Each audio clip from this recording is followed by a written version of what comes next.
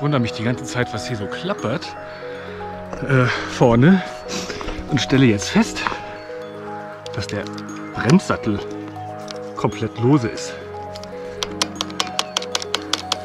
Gut, dass ich für so einen Fall immer mein Werkzeug dabei habe.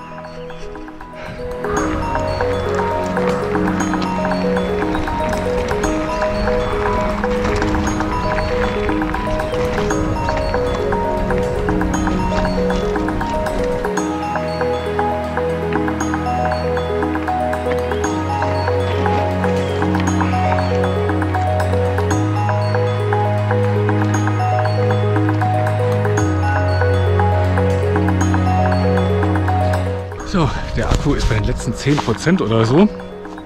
Ähm, aber ich bin wirklich weit oben.